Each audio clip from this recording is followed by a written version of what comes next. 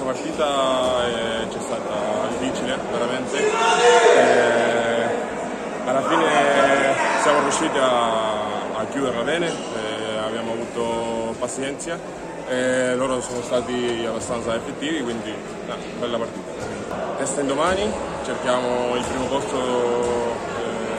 del girone e niente,